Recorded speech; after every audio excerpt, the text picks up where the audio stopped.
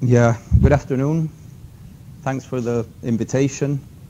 Was a bit surprised to get invited to talk about data. Sort of not very normal, especially because I don't consider myself very much of a data person, as you will see in my talk. But I, I will do my best to talk about data and what I think are some data needs or data approaches in order to begin managing fisheries for stewardship and for continuous innovation. That's a bit of a change. Um, I will ground this uh, talking about fisheries. This is the type of fisheries I'll be talking about. So I won't be talking about, I'll be talking about coastal fisheries, small boats, mainly dive fisheries, operate two, three miles off the coast. Okay, so for the talk today, most of it anyway, you can forget about your hake fisheries, your big oceanic fisheries, etc. Okay, uh, this is what I'm going to focus on. I decided to start with this slide. This is welcome to the Anthropocene, this planet dominated by humans that actually made it to The Economist. And in this Anthropocene, I think, sort of synthesizes a little bit my view about data needs in the Anthropocene, humans are more than just drivers of ecosystem change. They're also part of a social system that interacts with the environment. And in this sense, what I'm going to do today is give you a few examples that I think are relevant regarding data. Data for what? Data to understand social determinants and responses to natural resource management. Ideally, the types of data we might need to inform the, the design of innovative resource management. As I said, I'm going to ground these data uses in uh, the management of artisanal fisheries and the management of artisanal fisheries in Chile. You're going to have to bear with me two or three slides because I'm going to have to introduce the system I'll be talking about so we all sort of know what we're talking about together. This is the small-scale benthic fisheries system in Chile. It operates through hookah diving. There's around of, now there must be about 25 or 20, 25,000 hookah divers in Chile. Operates, as I was telling you, in coastal zones, mainly through uh, hookah diving, lands around 350,000 tons a year of benthic resources. The fishery operates from different fishing coves, cofradías. We call those caletas. Okay, this is just a picture of one of these so you get an image of, of how the fishery is organized. There's around 450 of these fishing coves in Chile. This benthic fishery targets 40 different species.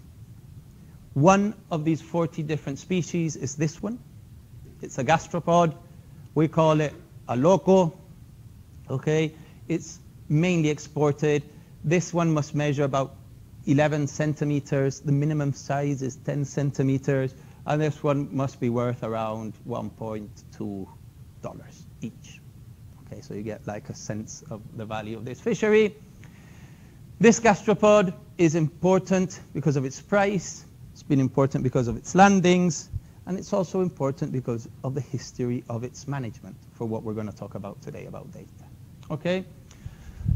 The exploitation of this resource led to a series of historical developments that I'm not going to talk about today, but that changed the governance of these benthic fisheries.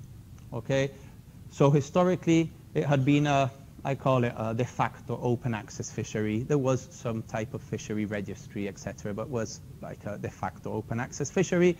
And in order to manage mainly this species, after 1989, was a governance transformation to more of a rights-based approach to managing benthic fisheries, okay, or territorial user rights. The way this policy was formed is this one. We call it the management area policy, but in essence what it grants, it grants territorial user rights. This was implemented in 1991 to uh, organized associations of artisanal fishermen.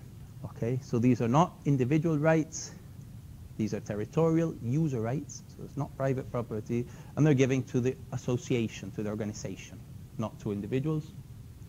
Why this resource has been said to be overexploited, etc., and they wanted to be, um, they wanted to create a sense of ownership, which could generate incentives for sustainable extraction, a little bit to stop this tragedy of the commons that Hardin calls. I sort of call it the tragedy of the open access.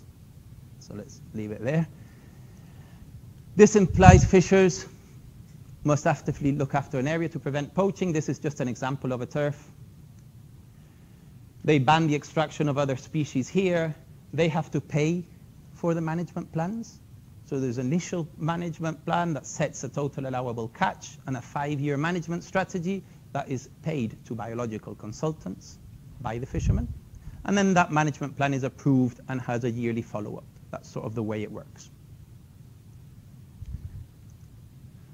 Today in Chile, we have around 750 of these turfs.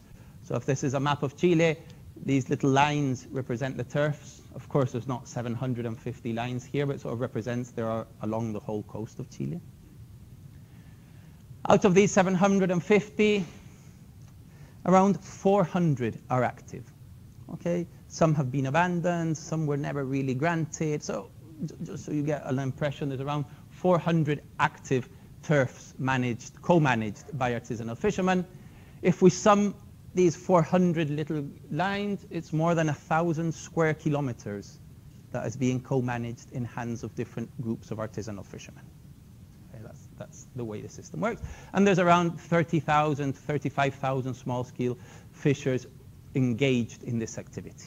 This is mm, maybe half of the whole artisanal uh, workforce we have in the country. Turf management has generally been based on data. And for every one of these little black lines, for every one of these turfs, um, the management plan has yearly estimates of abundance, capture per unit efforts, size, etc.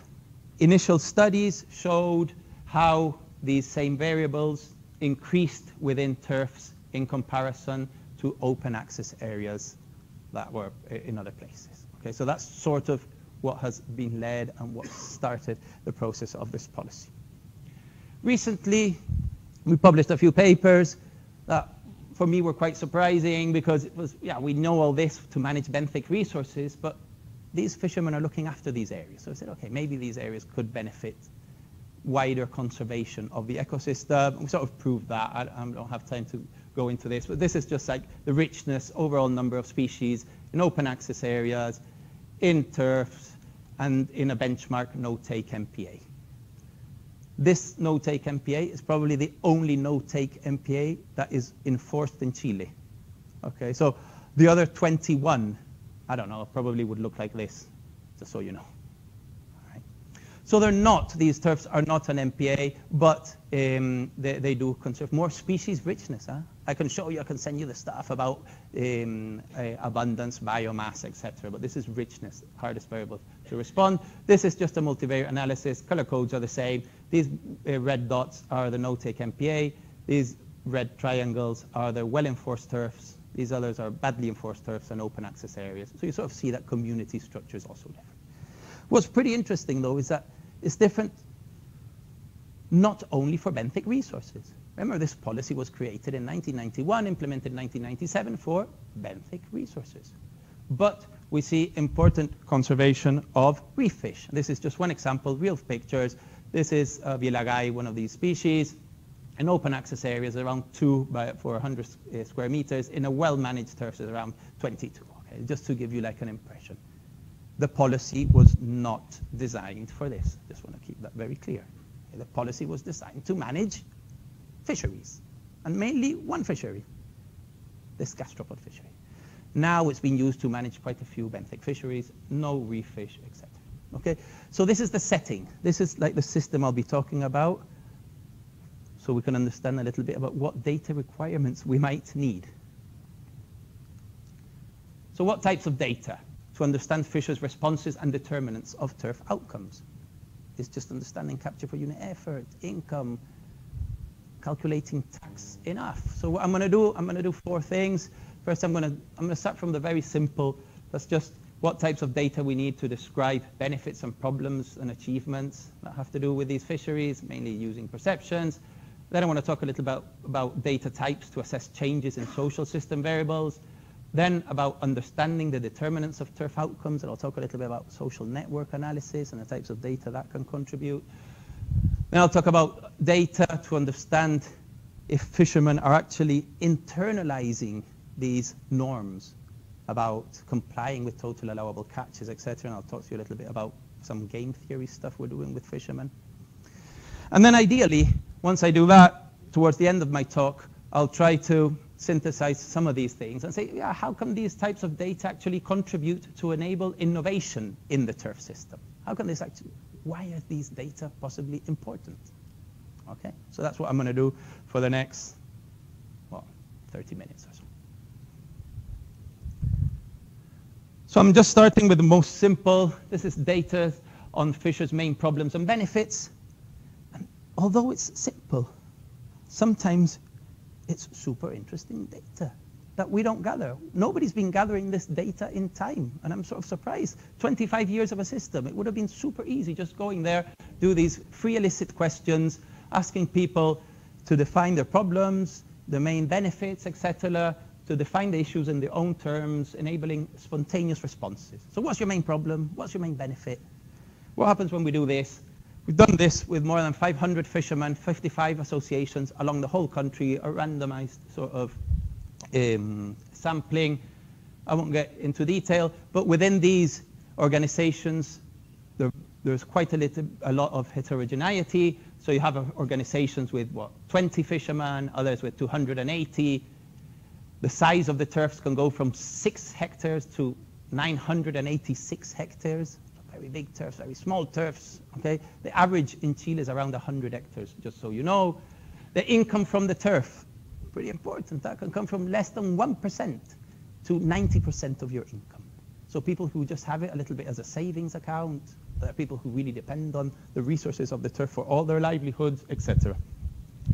Irrespective of this, this, these are the main problems I've categorized, etc. As you can see, there's not many differences along the different regions of Chile. These are the main benefits, the main problems. 72% of fishermen, that's my great data point for this talk, no?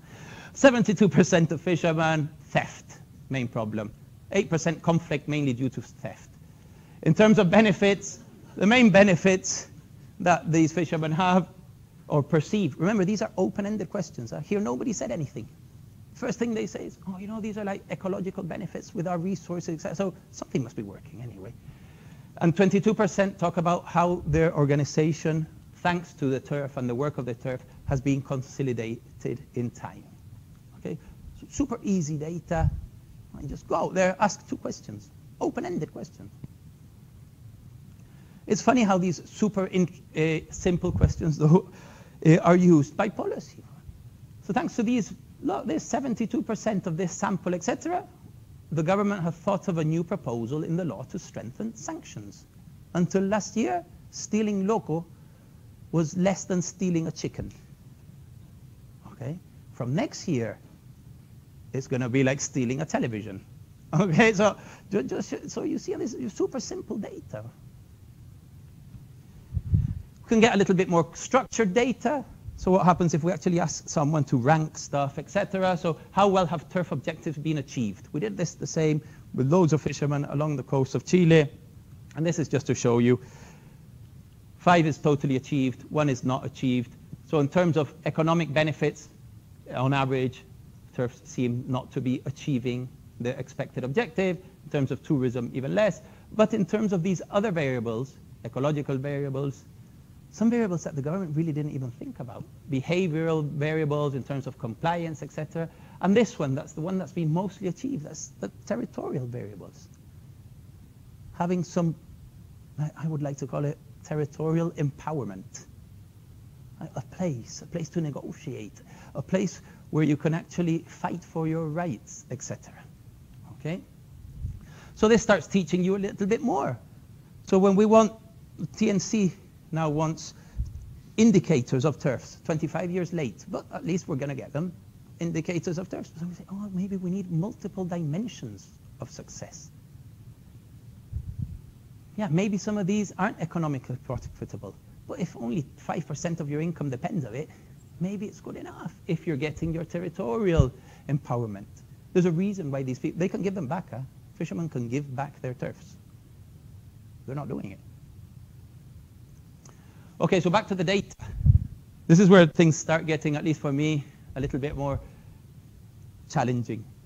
It has to do with, yeah, how, how, what types of data do we need to start assessing changes in social systems? And here I'm going to start with personal changes, changes in, in attitudes, okay? And all these more participatory natural resource management, conservation, you name it, turfs, for instance, these policies are dependent on the actions and participation of people, in this case, fishermen. You're granting them rights, co-management rights. Therefore, to assure environmental protection, these measures should generate changes in environmental attitudes of the actors involved. This is a fight I used to have a lot with environmental NGOs. I say, yeah, of course, Stefan, your fishermen are managing this, but under the first crisis, who says they're not just going to thrash all the turf? I say, oh, let's start somewhere. What's the starting point? Well, let's see if environmental attitudes have changed while co-managing these resources. Okay, so that's what we did.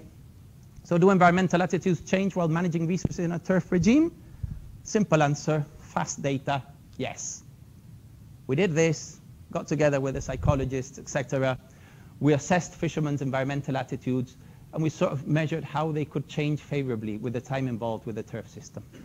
I'm going to just take a minute here because this is not a psychology department, but what is an environmental attitude?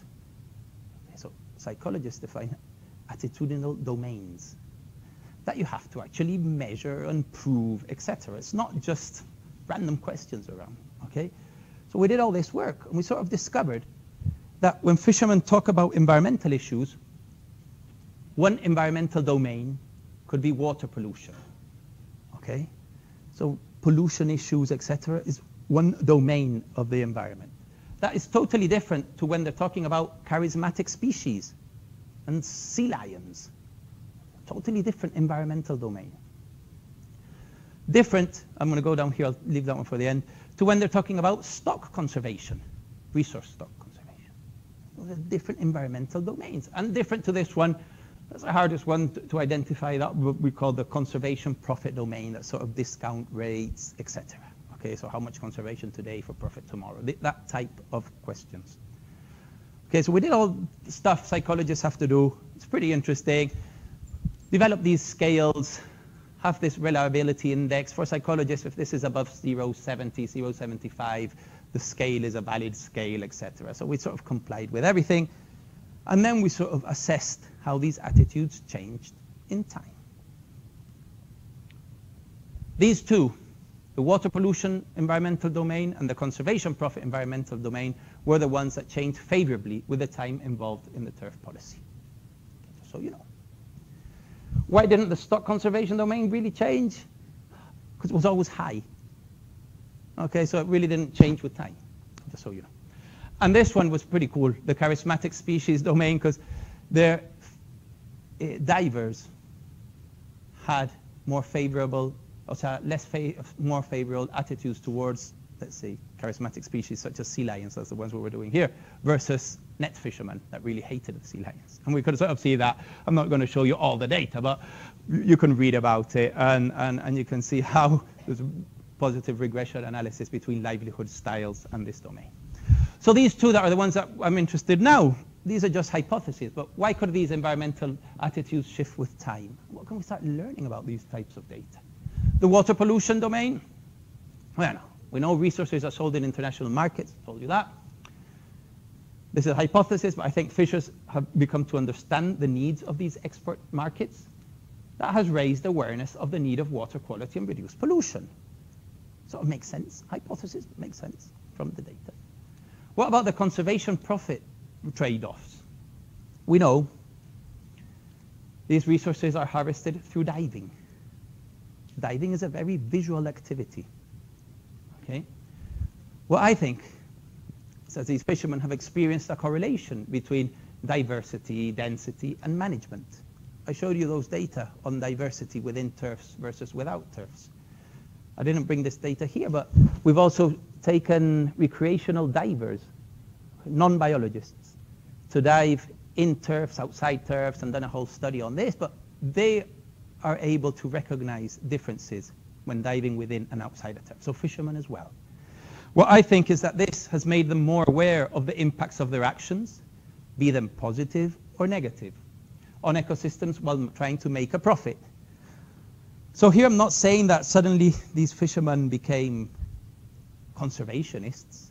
I'm just saying they're more aware of their actions. So you know if they manage this in this way, the system looks like this.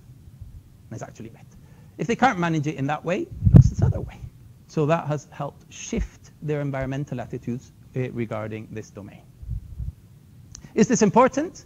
I think it's super important because there's some evidence, and there's not that many out there, that greater stakeholder participation, I use the word may here, but may be linked with greater concern for their environment, at least in terms of attitudes. You know, there's a relationship between your attitudes and your behavior. Okay? So there's something called the theory of reasoned action. So, it sort of says that your behavior depends of social, your social surroundings, the social norms, your attitudes. And there's loads of meta-analysis between attitudes and behavior, and there's like a regression coefficient of like 0, 40 something. That for social science is pretty okay-ish. Okay, so that's that's how sure we are of this. But just, just to give you like the full picture.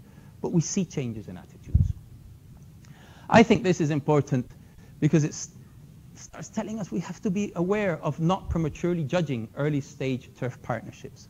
And we say early stage, well, 10 years, 15 years. It's quite early stage.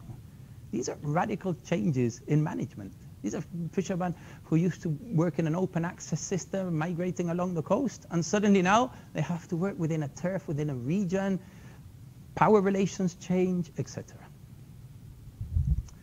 And this also starts giving us some hope that turfs could generate a social setting for further innovation.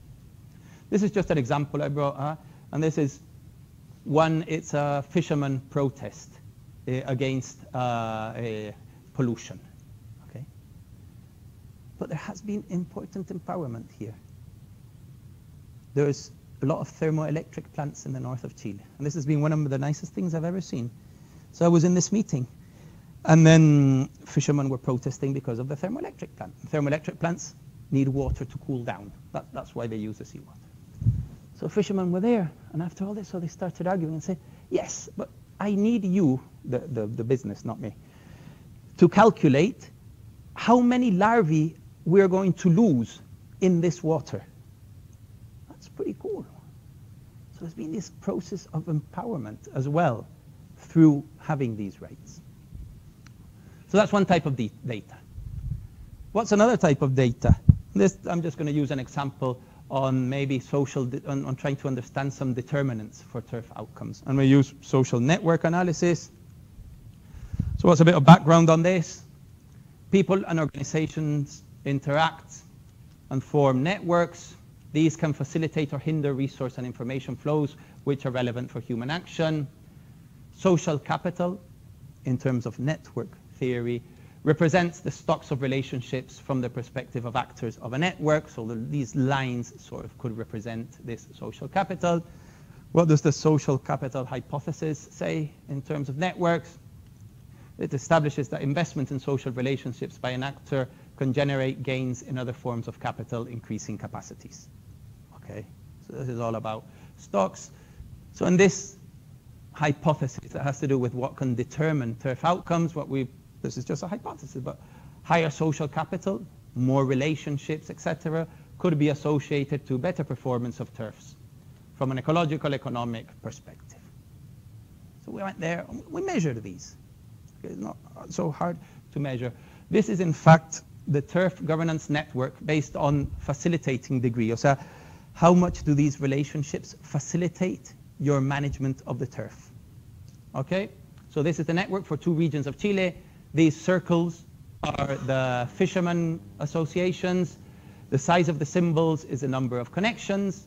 And I have painted these other type of organizations in different colors. So the blues are, have like a high facilitation, the, med, the, um, the greens a medium, the yellows a low, and the reds are negative. So when I, when I give this talk, NGOs don't like me very much because it's a little bit red dot here. Okay. University likes me quite a lot because a big blue square over there. So that's sort of this thing. What we're really interested in, though, are the lines, are the connections.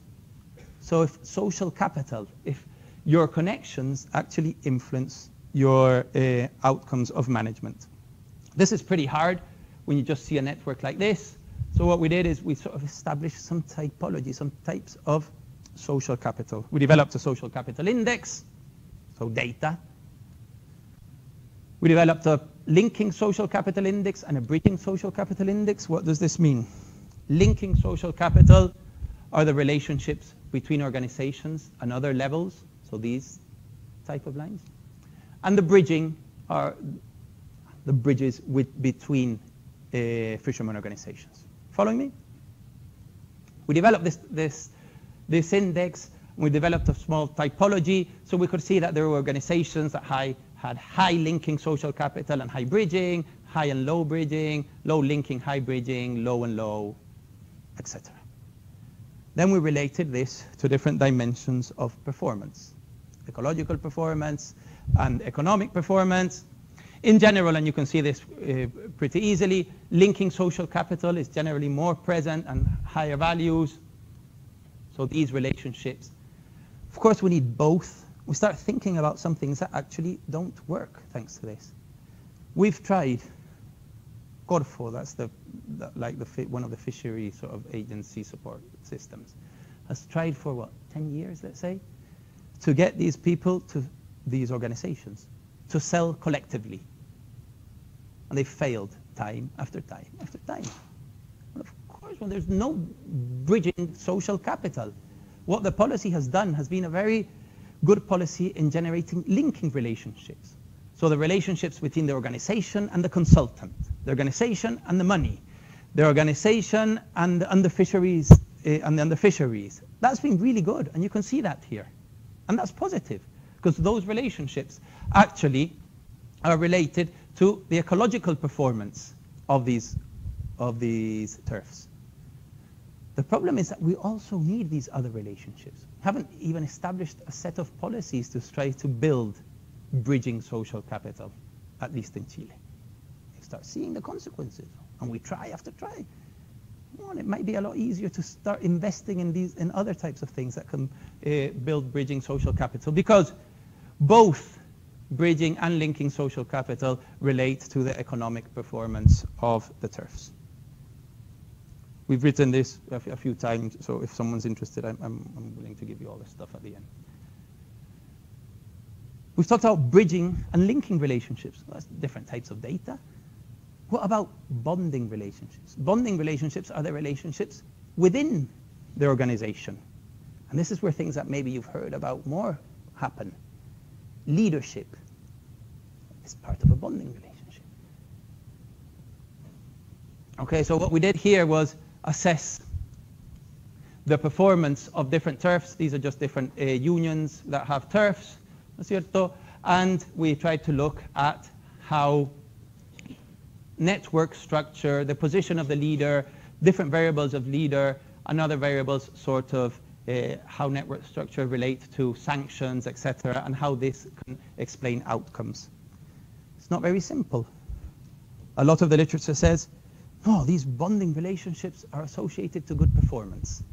You know what? Once you start measuring these things, things are not so deterministic at all.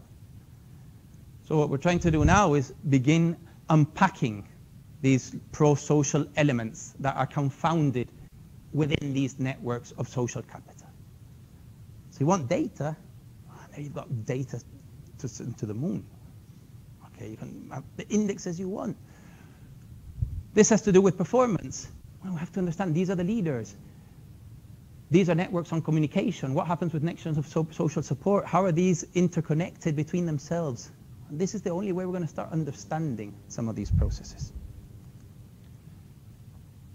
Number four, and this has to do with norm internalization by these fishermen of some of the rules of the turfs. And here we sort of assumed a bit of a challenge. We started doing experiments.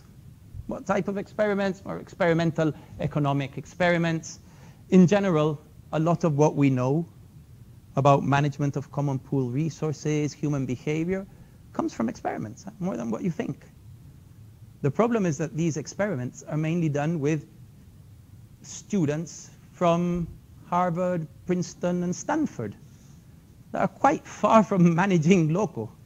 Okay, but those are because these are the professors, and what's accessible to the professors? The students. So now human behavior, what we know is structured by, by students. I find that ridiculous. So what we did is, did these experiments with fishermen. It's not easy, huh? We had to develop new types of keyboards. We wanted to do this with payment functions, etc. So we tried to do these experiments in which we identify factors which can promote cooperation by isolating other factors as an experiment. We did common pool resource experiments, prisoner's dilemma, and others with these fishermen. We wanted to test the effects of sanctions and foreign incentives. I'll talk a little bit about that. How do we do this?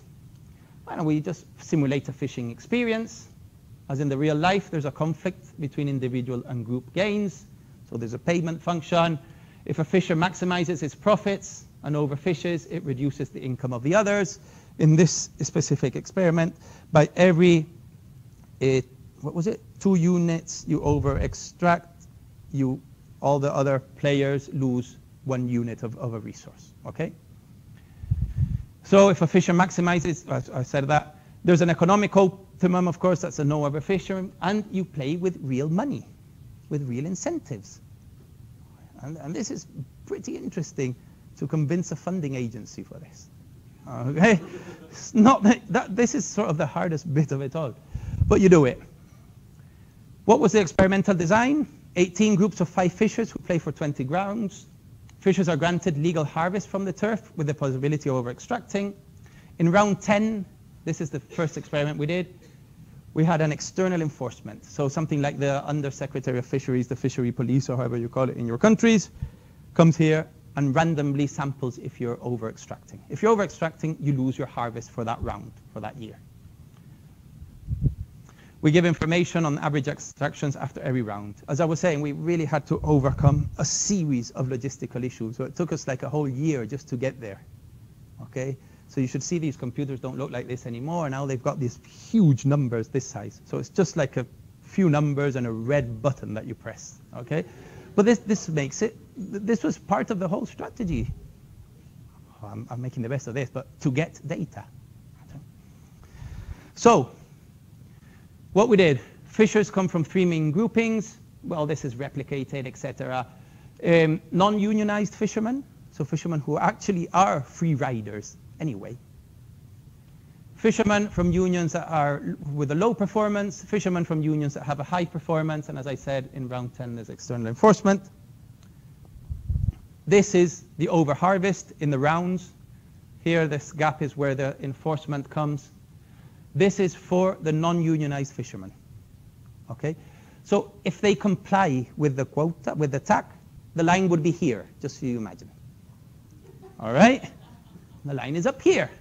So from round one of the game, the expectations of collaboration of the other people are practically null.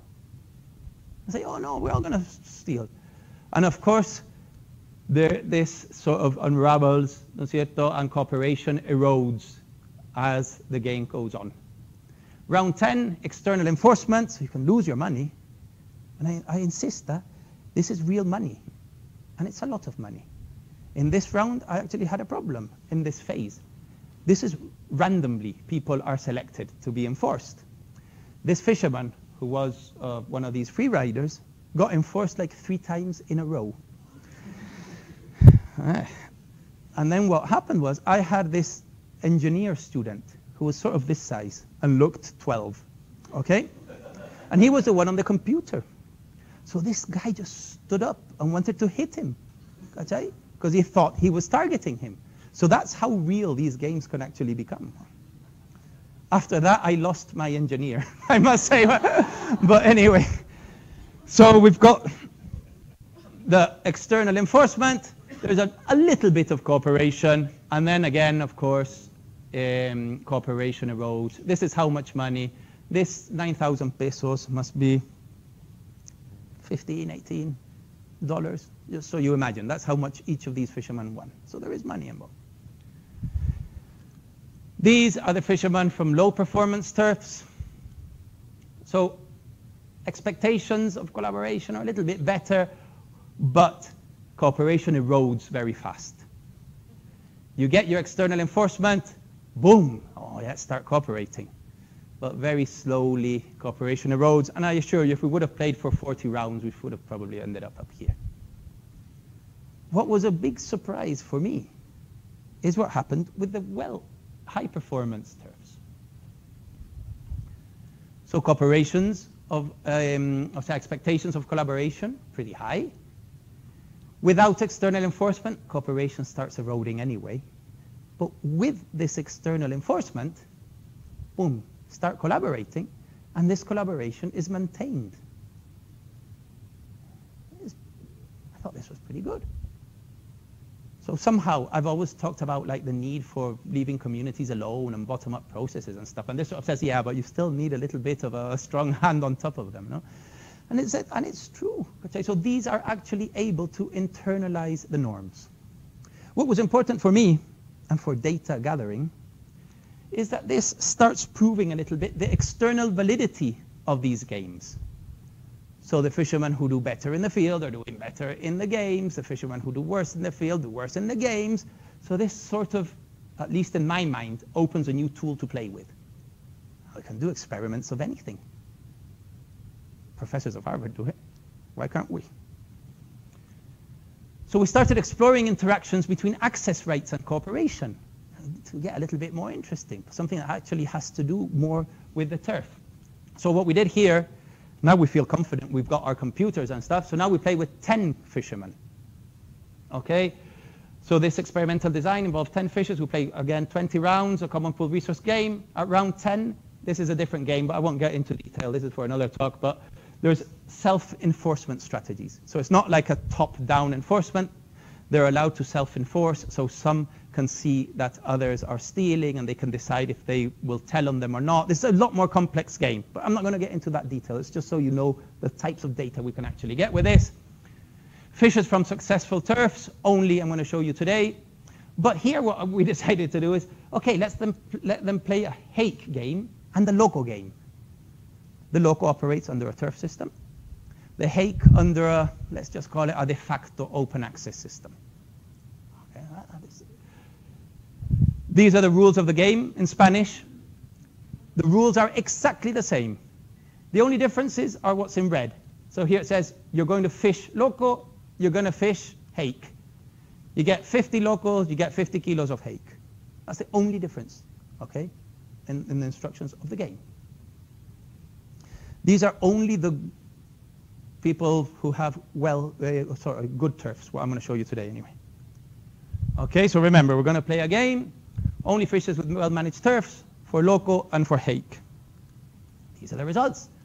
The loco, these are all new data. So the loco, fortunately, follows the same pattern as the other one. Otherwise, I would have been in a lot of trouble. So quite a bit of cooperation, it erodes. Self-enforcement now, not external enforcement. So self-enforcement was also good enough to maintain cooperation in time. These are the same fishermen, or at least from the same uh, sort of groups of fishermen, for the hake. What are the, the expectations of collaboration for the hake? Very low. It's an open access resource. Very low, self-enforcement, and continues low. So this, I think, is pretty interesting as well. So say, yeah, somehow turfs are enabling some type of stewardship behavior that is not here. And these are the same. Huh? So this also means and it happens to us too, I guess. We can be really good stewards for some things and really bad for others. I'm really good for working with fishermen. I'm super, super bad at recycling. So this is sort of the same things we're discovering here. Mm-hmm. What it, where it gets really interesting, and this is, they asked me to show non-published data, so this is all non-published. And this this has a lot of ends, etc. This is just something we're exploring now, but I thought you might enjoy it. So we did this game adding uncertainty onto the resource stocks of the next round.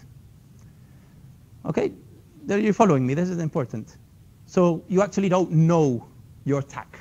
in the, in the next round. It can go up and down. I think it was 10 or 15%. So when you add uncertainty in the loco game, this is what happens.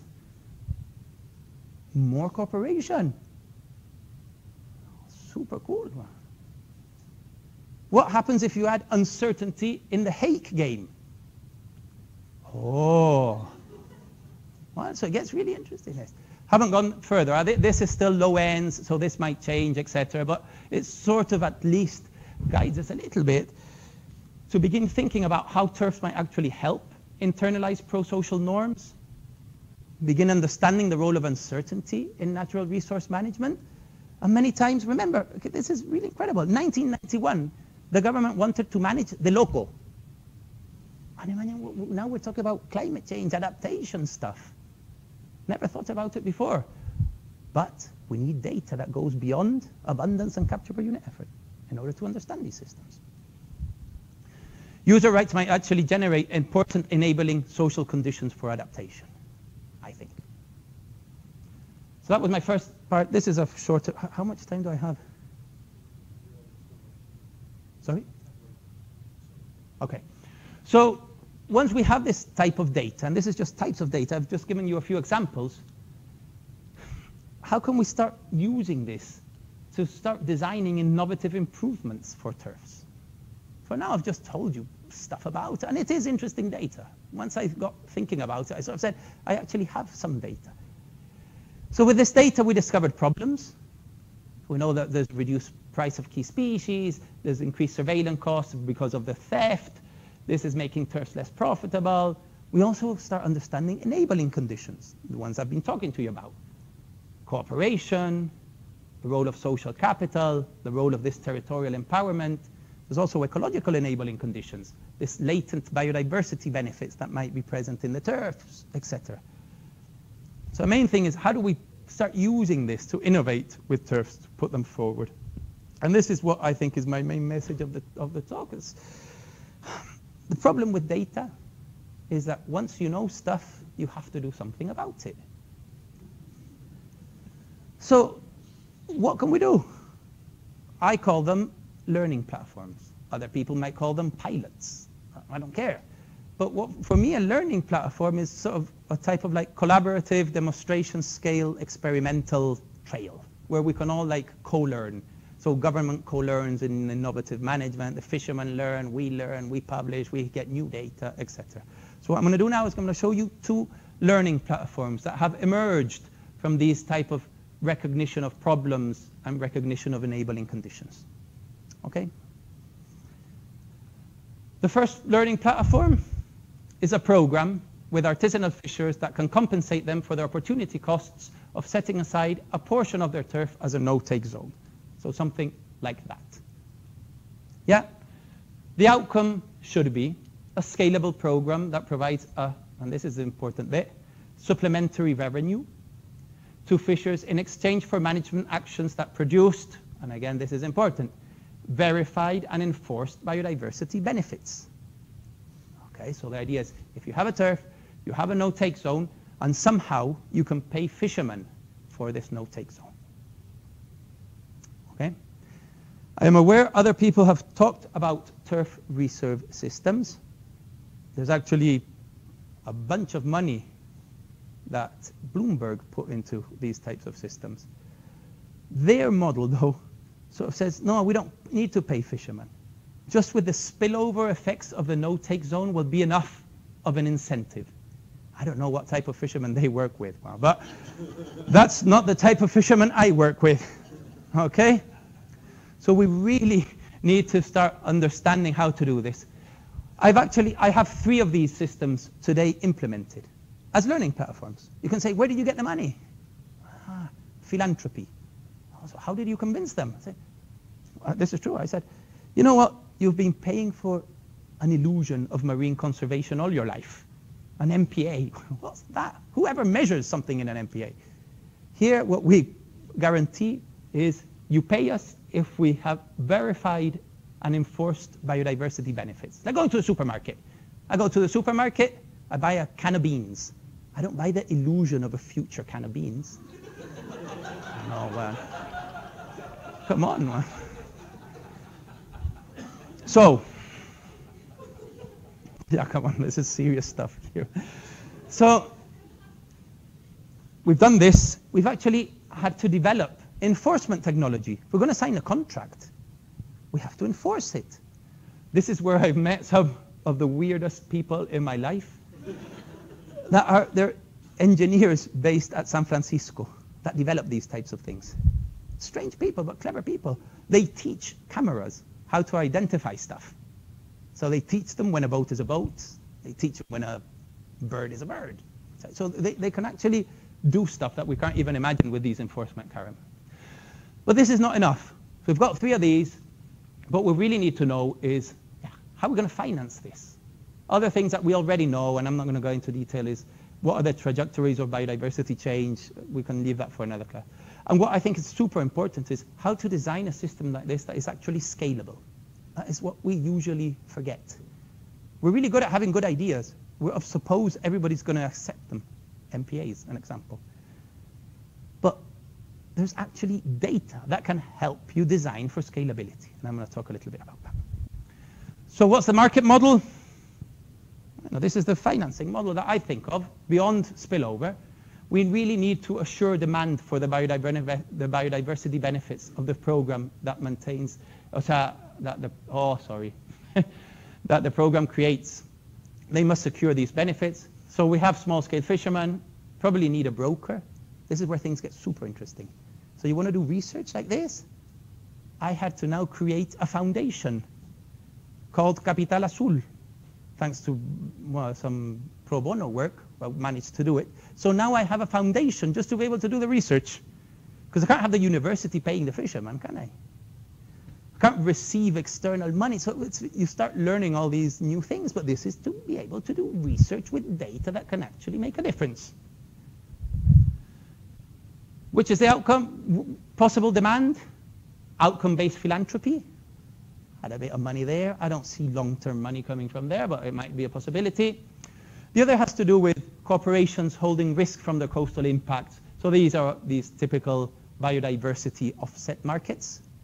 So you could have regulatory-driven biodiversity offsets markets, voluntary-driven biodiversity offset markets. Another avenue could be actually selling seafood products with benefits because they're produced in, in a system that protects biodiversity. This is just me. I'm no marketing person, but I just call it for now, for the papers, Bio plus seafood. Okay. So there's at least four possible revenues. Are these real, or am I just like inventing stuff? They're pretty real, huh? We've got new legal opportunities in Chile that allow and will start asking for biodiversity offsetting schemes. This is another thing. All these regulations want industries to offset biodiversity in the oceans. How are we going to do that? I Haven't been able to solve it. Friends in CSIRO haven't solved it either. Here there might be a way. There's a new law on protected areas and biodiversity being discussed, which explicitly includes compensation. Did you know that everything we know about biodiversity offsets from a science standpoint 80% comes from wetlands in ecology. And today, three quarters of the countries of the world are making policies that will enable biodiversity offsetting in different types of ecosystems. That's super scary. We really need to generate our own capacities on how these systems are going to work. Here there's a chance. We know there's philanthropic interest, and there's increased opportunities from the business sector. The CBD that we all love um, has a no net biodiversity loss program. Some uh, money from the bank now is coupled to no net loss programs. The industry's recognized advantages. The magnitude of the offset market has gone threefold in the next, is expected to grow threefold in the next six years to $8 billion. And even in Chile, imagine Chile, our energy policy for 2035 says that any energy project will have to prove no net biodiversity loss. Ah, so there might be a demand for this. If there's a demand, the key issue is we need this system to scale. I do nothing with three of these areas. 45 hectares, what am I going to offset in 45 hectares? So how can we design a system to have a better probability of adoption? This is what I'm going to talk to you about now. And here, data could be really important. So every time you design something, there's a set of design choices that could influence scalability. Okay, so what we did here, we surveyed fishermen, we used a choice experiment, so we, we presented fishermen with different alternatives of a program. So each fisherman responded to sets of turf reserve program scenarios that had different enforcement strategies, contract lengths, payment strategies, different broker types, etc. They're, in general, they're small design decisions that we usually give for granted. We assessed participant characteristics, and we sort of modeled the probability of choosing one program over another. All of these program factors that we usually don't even think about had significant impacts on Fisher's intention to enroll. So what we did is we built something super simple, the most and the least desirable program from a fisherman's perspective. Okay, so this is the predicted probability of participation under different payment schemes. Yeah. So of course, if you pay them less, the probability of participation is less. If you pay more, the probability of participation is more. This here is for the undesirable characteristics. We, of course, didn't know they were undesirable before. What happened if we put together all the desirable characteristics? Look at that. So your predicted probability of participation, even in the lowest payment scenario, is already 50%. And this is just by looking, yeah, I have two more slides. And this is just by looking at um, predicted probabilities of participation. Just as an example, this is one of the program attributes. This is only for the desirable program. So this is a 10-year contract. Probability of participation, that's a two-year renewable contract. So simple stuff can really make a difference, especially when you're first designing a program. These are, have to do with participant characteristics, and this is trust. So the blue line is like the mean trust of a fisherman, okay? So you have very trustworthy fishermen who trust organizations a lot, who don't trust them too much. And you can see that the probability of participation for an undesirable program for negative trust fishermen is super low. But if you design the system well enough, you can actually get that participation. In fact, you can sort of, with the least payment, get the same amount of participation if you design the, the, the system well enough for non-trusters than you can get for trusters if you don't design the system well enough. These are all things we didn't know. Understanding these probabilities could actually help leverage existing turf models and design new turf models. This is my last theme now, and it's super fast. Other learning platforms. This thing can go on and on and on, and I can be here until 8 o'clock. Okay, so I'm just going to do this one super fast. And this is, again, fisherman with the first example, in this case now, bottom-up, no-take MPA in Chile. So two turfs, fishermen agreed, to do a marine sanctuary. I love this picture. This is a, a, municipal official, a fisherman, and a biologist. And they all come together from diving here. It took seven years to form this. But now, fishermen associated to this sanctuary, thanks to other projects, have a price premium for the algae they extract. Fishermen, this model is now currently informing the protected area and biodiversity law that we're writing in Chile. This law didn't want community-based participation. This learning platform proved it can be done. And this is where you have to be prepared for these windows of opportunity. This doesn't occur anywhere. It occurs in one of the four poorest councils in Chile. What was enabled here? These are the networks before the implementation of the, of the area. Just look at the lines. And this is after. So you have more communication, but you also have these little arrows you have reciprocity. We can work with reciprocity. We can build these types of things if we really want things to be successful. It's even scalable. This is the mayor of the place that built this MPA. And he invited his fellow mayors to talk about this. And they signed something. This is super rural places. Eh? The Declaration of Navidad. That's the place. And in this declaration, they said, we want to have something to say in marine conservation. So once you enable these things, stewardship can actually start occurring. And this is my last slide. So I got invited to talk about this. Do we need data to manage fisheries? I think we do. Of course we do. We need many types, bioeconomic, fishery, social, ecological, extensive, intensive, qualitative, quantitative, whatever you want. But I really don't think that's the interesting question. What really is important, I think, goes beyond what type of data. It's what you do with it. And I'll read this because it took me time to write. What we really want is, no, is to engage with the responsibility of transforming lessons from what data tells us into action, which requires on-the-ground engagement with diverse partners to initiate positive change. And believe me, it really takes time, patience, and work.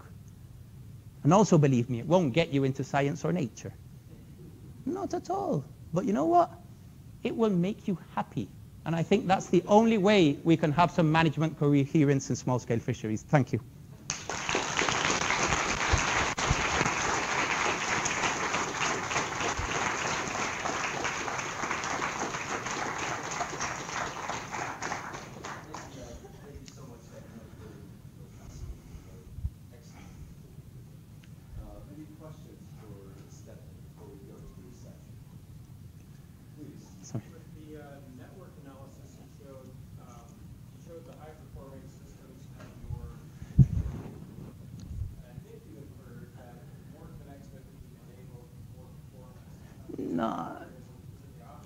Uh, we have no causalidad. Uh, we can't, no. It's the same as with the game theory stuff. Are these fishermen intrinsically more prone to collaboration? Or was it the system and the success, let's say, of the system that make them more? Those, because again, we're not measuring these things. So I get to see them in year 25. If we would start measuring these things in year one, we could really start answering those types of questions. Fortunately, I don't know if fortunately, but lots of countries are actually wanting to establish rights-based type of management. There's like this thing for it now. And maybe we can influence this in a way to start measuring some of these things from the onset. Uh, I'm actually doing this in Peru. So Peru wants a new turf system from the Novo, etc. They don't have one and we're really, really doing a huge effort. There's a new Ministry of Fisheries in Peru uh, to actually include some of these things uh, for, for the learning of, the, of these processes. So yeah, uh, th this is the main issue of when we just measure some things and not others. So that's my frustration. yeah.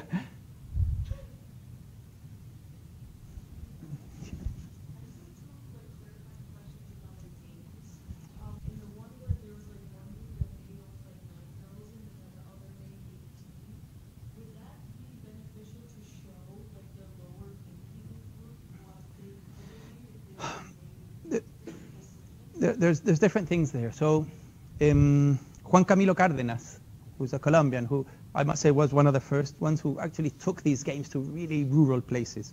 They don't do it like us, they do it in other ways. But So he is a fan. Like his new thing now is using games for learning.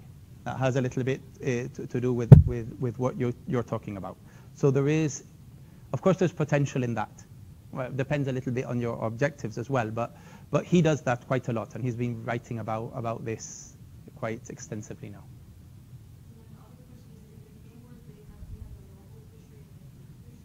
Yeah.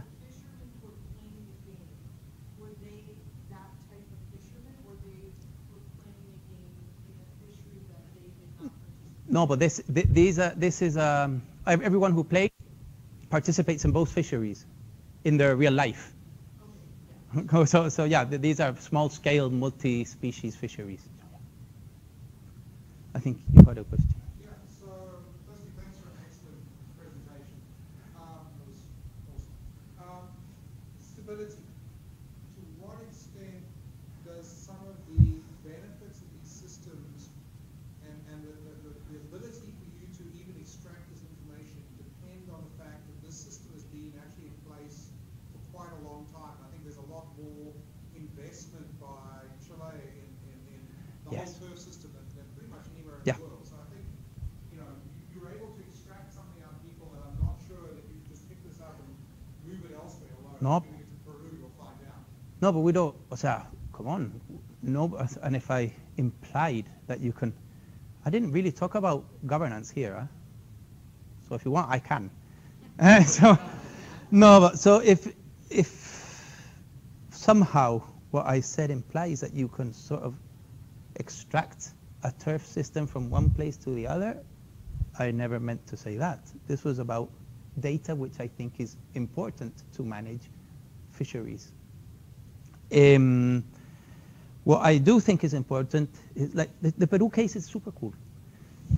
So Peru called me, sorry about the story, but I'm very bad at questions. So called me four years ago. Okay, and they said, Stefan, we are thinking in the future of doing this. And I said, you know what we have to do? Let's do this. We got a master's student, got a master's student.